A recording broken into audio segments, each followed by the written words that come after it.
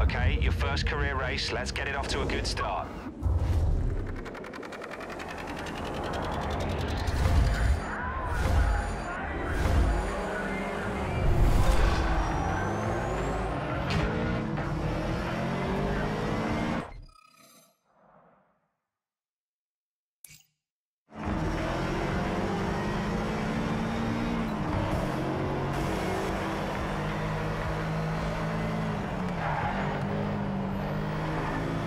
That wasn't your best start, but keep focused. We'll make it up later.